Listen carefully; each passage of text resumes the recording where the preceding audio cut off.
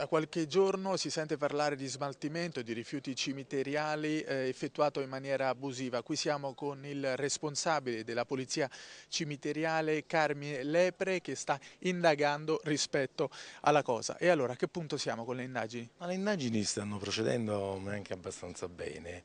Eh, probabilmente nei prossimi giorni ehm, si faranno i nomi di altre persone che sono coinvolte in questa diciamo, brutta faccenda cittadina. Ci racconti un po' in che modo sono effettuati questi smaltimenti di rifiuti cimiteriali, quindi speciali? Sì, noi inizialmente avevamo avuto sentore che in alcuni cimiteri privati um, le cose non andavano per il resto giusto.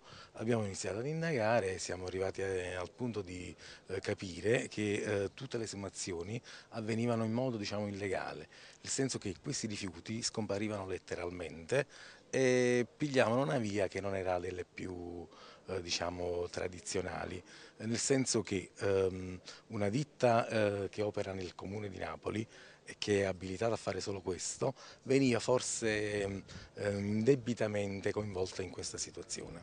Poi per il momento insomma, ci dobbiamo fermare qui, perché la cosa sta al vaglio della magistratura e avrà un grosso eco.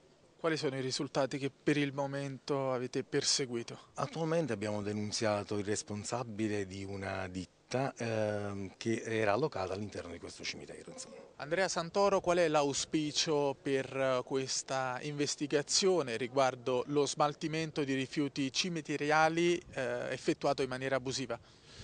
Ma eh, io credo che innanzitutto va riconosciuto l'ottimo lavoro che il nucleo di polizia cimiteriale della Polizia Municipale di Napoli, coordinato dal Tenente Lepre, sta facendo. Eh, ha permesso di eh, evidenziare un ulteriore eh, segmento diciamo, della vicenda dello smaltimento dei rifiuti